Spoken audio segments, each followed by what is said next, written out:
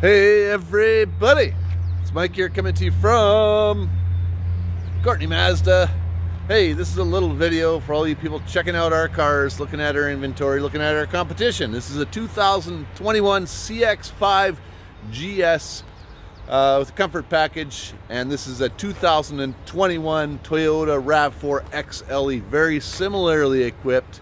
I want to tell you a little bit about what I noticed the differences are. So check it out, here it goes. 2021 CX5 GS with the comfort package. You get uh, you get a nice little car here with a machine in the machine gray metallic. The lines on the CX5 are pretty nice. Uh, totally different than what you see in the Toyota RAV4. You got tinted windows along the back. You got 17 inch rims and tires with a mud and snow rating on those tires. Uh, you got a good amount of space in the back seat for your passengers. Underneath the hood, Skyactiv two and a half liter four cylinder engine. It's a high compression motor, about 185 horsepower, six speed automatic transmission. Beautiful headlights as you see here. Those are those really bright LED lighting that you see. And uh, check out the Toyota. Nice lines on the Toyota as well. You got yourself some 17 inch rims and tires on there too. Looks like they got a Firestone destination tire. There's a mud and snow rating on those as well. And uh, interesting lines on the Toyota. I love the new design of this Toyota. It does look a lot nicer than the old previous design, I think, but that's a matter of opinion. And up front here, let me just get those headlights on. So, there we go. All right, so both the same size of vehicle, very similar size, very similar ground clearance. I think the Toyotas might be slightly higher. Well, they're pretty darn close. And as you see up here, you got some nice LED lighting on there as well. The Toyota has got the fog lights. Uh, behind the Toyota symbol is your adaptive cruise control. Mazda's got the same kind of thing. And up in the windshield, you got all your lane departure warning systems and uh, autonomous braking and that kind of stuff. The Mazda's got the same idea here. Uh, radar, radar, adaptive cruise control, all the adapt, all the lane departure and advanced autonomous braking and stuff like that up there. They both have sunroofs. Same size engine, different power, different power delivery. They feel different. Um, I'd say the uh, the Mazda seems to be a little bit more responsive for steering and handling. Uh, the Toyota uh, is drives really nice as well. Bit, bit more of a cushier ride, I'd say. This is a bit more of a sportier ride. And uh, depends on what you like. Check out the front end of the uh, Toyota. It looks pretty good. Nice styling. I like the new design. And over here as well. Let's have a look inside the passenger seat. The Toyota's got a cloth upholstery. And the Mazda's got like a leatherette. I'll show you that in a minute here. So there's your cloth upholstery. It's got a little bit of razzle dazzle on the seat with the design. And you see here a little bit of storage there. You got your glove box right there. And then you got uh, this cool looking shifter here. It's got uh, multiple four-wheel drive modes. You got a dual zone climate control, big screen up there for your camera and everything like that. It's got the sunroof, curtain airbags, side airbags, Bluetooth, all that kind of stuff is on there as well heated seats and heated steering wheel. All right, let's go see what the Mazda's like on the passenger side here. Got signal lamps built in the outside rearview mirror, just like the Toyota does. Here and here. Inside the rearview mirror is your blind spot monitoring system as well. The Toyota has that as well. And that's your leatherette with a suede insert. Uh, really nice. Little bit more, uh, less going on on the dash than the Toyota. It's got the HMI commander right there that controls everything up on the screen.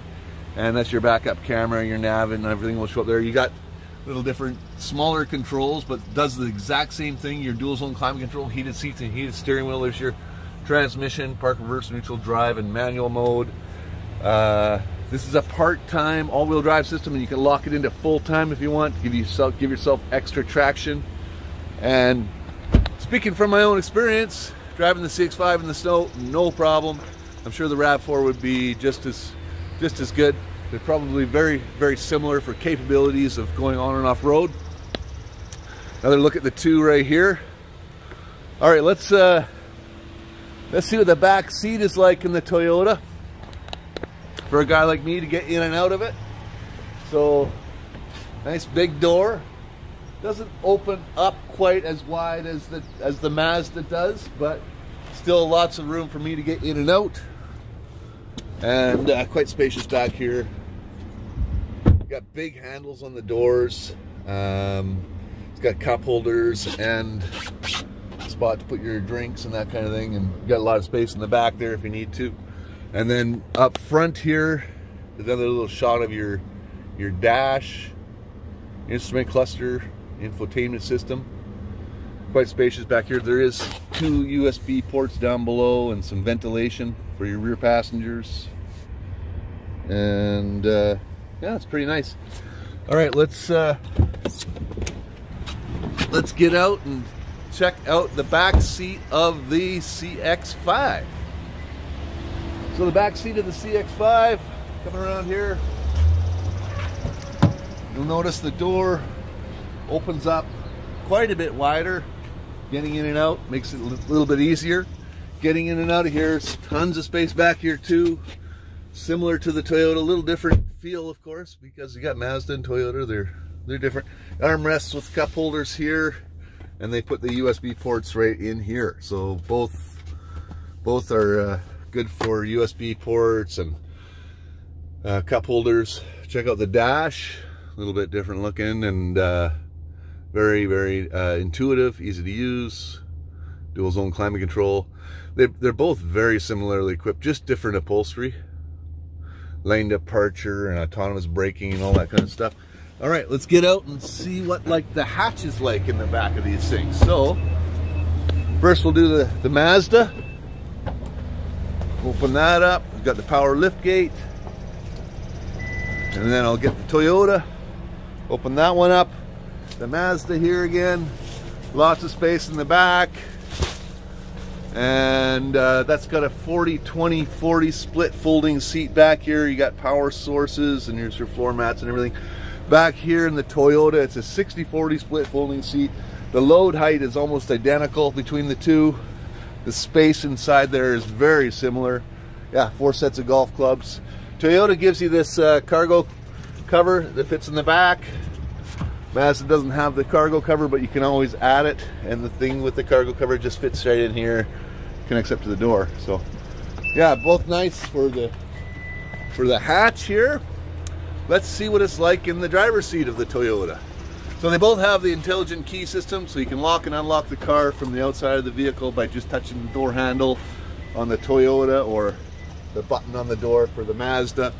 And uh, they both have a, a power seat um, for fully adjustment for comfort and a little shot of your infotainment system. When I put it into reverse shows you what's behind you and then you can get into all sorts of stuff here with menus and that kind of thing.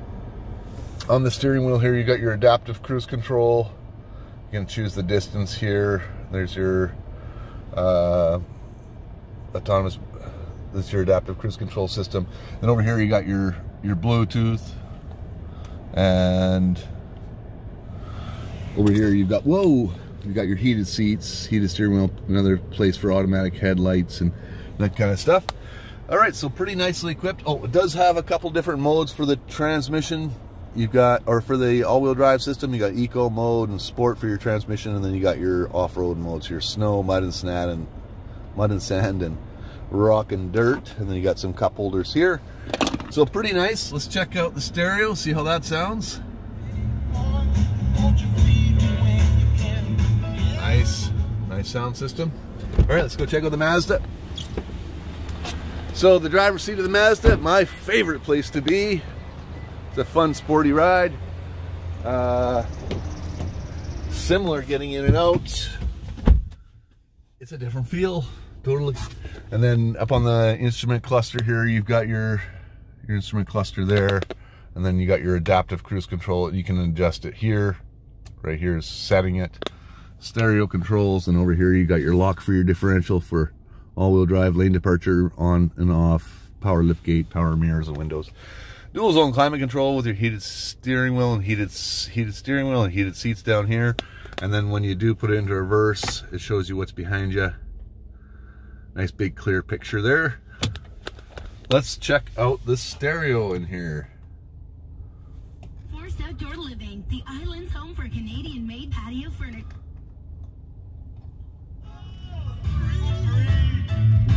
Yep, well, sounds good. So there you have it. That's the 2021 Mazda CX-5 GS Comfort Package in 2021 Toyota RAV4 XLE. Uh, great to see both vehicles. They're both really nice.